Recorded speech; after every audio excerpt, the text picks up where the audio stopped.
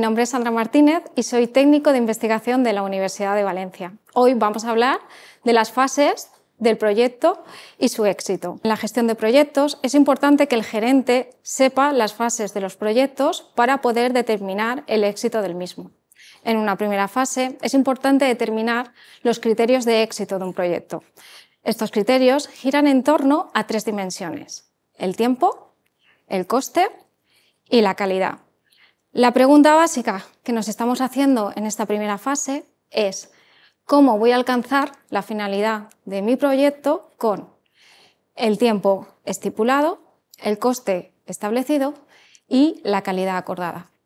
La relación entre estos tres factores, tiempo, coste y calidad, es lo que se denomina el triángulo de tiempo, coste y desempeño, o lo que es lo mismo, el triángulo de triple sección.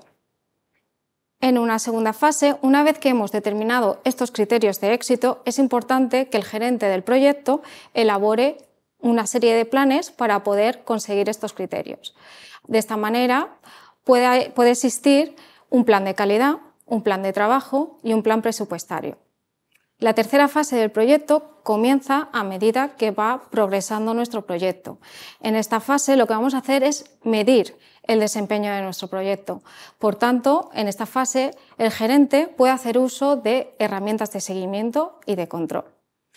En la cuarta fase del proyecto es cuando realmente vamos a comparar los resultados que estamos obteniendo con los resultados deseados y veremos si esos resultados que obtenemos están dentro de la gama de lo que esperábamos. Podría suceder, por ejemplo, que estuviéramos ejecutando nuestro proyecto con una calidad aceptable, con un presupuesto por debajo de lo estimado, pero que hubiese un retraso.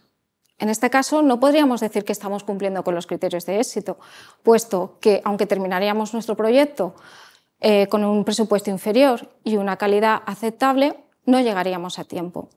Por tanto, en algunas ocasiones es necesario introducir algunas medidas correctoras.